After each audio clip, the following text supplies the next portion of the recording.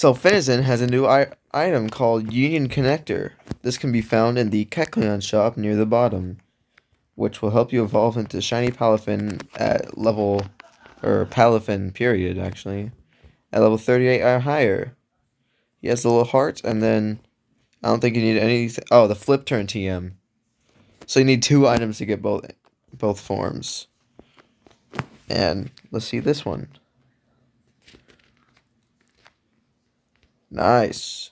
Pretty good. Pretty good, friending.